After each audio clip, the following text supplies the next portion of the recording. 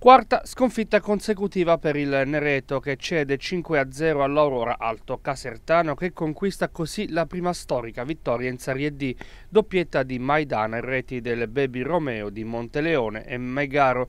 Il Nereto, senza mister del Grosso in panchina, si presenta a Pietramelara con una squadra imbottita di under. Passa subito in vantaggio l'Aurora Alto Casertana con il Baby Romeo classe 2002, nemmeno il tempo di riordinare le idee che per il Nereto le cose si mettono malissimo. Al quinto è l'ex di turno Maidana a provarci dai 16 metri, battendo ancora una volta Diglio.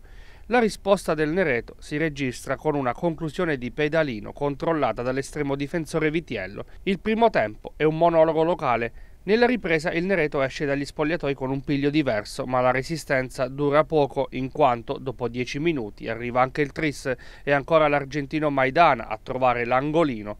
Al 65 arriva addirittura il poker per i padroni di casa, quando è Monteleone a risolvere una mischia in aria. Prima del triplice fischio finale c'è gioia anche per il neoentrato Megaro che trova il 5-0 finale.